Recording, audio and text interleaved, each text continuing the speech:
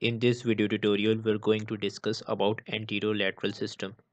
The anterolateral system is a part of ascending tracts, similarly as the dorsal column medial lemniscus, which is a sensory pathway.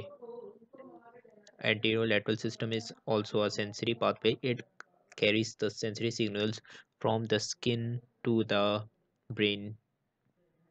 The anterolateral system is a major spinothalamic tract spinothalamic tract as the name suggests it ascends from the spinal cord to the thalamus of the brain.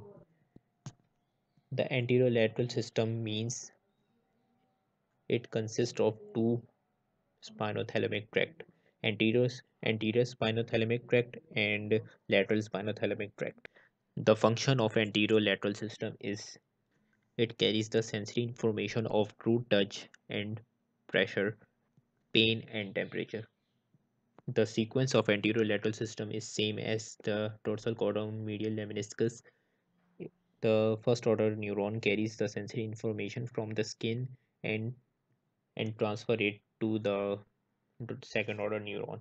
The second order neuron carries the information from the first order neuron and transfer it to the third order neuron. The third order neuron transfers the sensory signals from the second order neuron to the cerebral cortex. Now have a look on the pathway of anterolateral system. The first order neuron carries the sensory signals of crude touch, pressure, pain and temperature from the skin and, tra and travels to the spinal cord. Here it here it synapses in the area known as substantia gelatinosa at the dorsal horn of the spinal cord. Here the first order neuron synapse with the second order neuron and transfer the sensory information of pain, temperature, crude touch and pressure. The second order neuron transfer the sensory information which is taken from the first order neuron and decussates means it changes its, its direction from left to right or from right to left.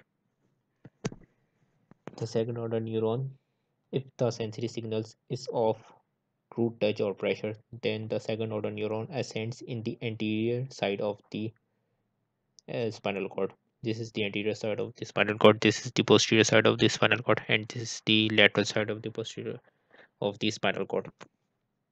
If the sensory signal of crude touch or pressure is coming from the first order neuron, then the second order neuron ascends in the in the anterior side of the spinal cord and ascends and then synapse in the thalamus of the brain with the third order neuron. And if the sensory information is of pain and temperature then the second order neuron travels from the lateral side of the spinal cord from here. If the sensory information is of pain and temperature from the first order neuron then the second order neuron travels in the lateral side of the spinal cord and then synapse in the thalamus of the brain. If the second order neurons travel through the anterior side of the spinal cord, then it is known as anterior spinothalamic tract. And if the second order neuron travels from the lateral side of the spinal cord, then it is known as the lateral spinothalamic tract. The anterior spinothalamic tract carrying the signal of crude touch or pressure and uh, the lateral spinothalamic tract carries the signal of pain and temperature. Then then the second order neuron synapse with the third order neuron at the thalamus of the brain. The third order neuron carries the signal which is coming from the second order neuron to the cerebral cortex of the brain.